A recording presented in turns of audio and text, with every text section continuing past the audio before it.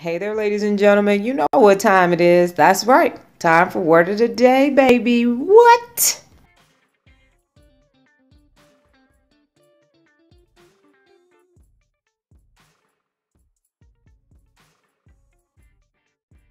Here's how you pronounce the word, word of the day proclivity.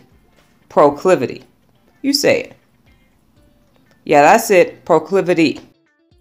Now, losers have a proclivity for being lazy, but real leaders, they have a proclivity for hard work.